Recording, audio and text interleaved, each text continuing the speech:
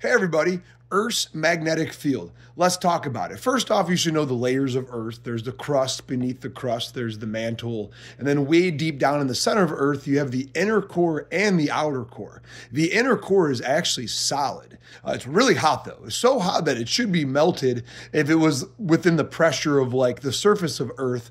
But inside of Earth, there's so much pressure that that ball of, of inner core, even though it would be liquid, actually stays solidified. So things change when it comes to phases of matter because of temperature, but also pressure. So, anyways, there's the inner core, and then around the inner core is the outer core. And what happens is all that movement, all that friction, all those particles, a lot of them are metal. There's a lot of iron, there's a lot of nickel down in the middle of Earth.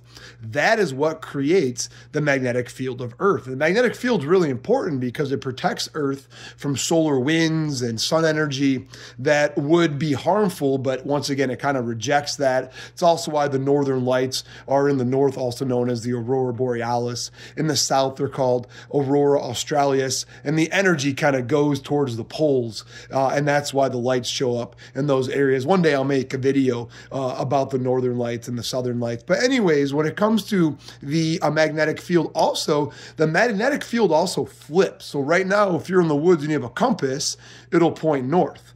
Not that long ago, it would point south.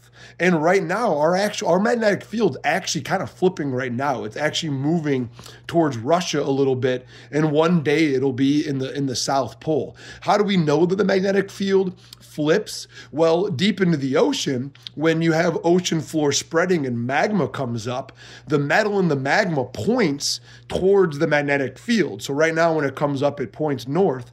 Scientists have found layers that point south, and then other layers that pointed north, and then other layers that point pointed south. So we know that Earth's magnetic field flips every like 200,000, 300,000 years or so. So it is kind of an interesting question as Earth's magnetic field is flipping like what's going to happen? Is there going to be like a moment of a weakened magnetic field? Um, so it's kind of interesting to think about that. So I hope you think Earth's magnetic field's interesting. It comes way inside of Earth, and uh, stay curious.